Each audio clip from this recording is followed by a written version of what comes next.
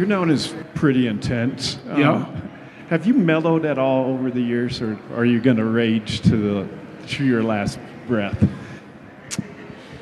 Let me think. I'm never changing. I'm not going to change who I am.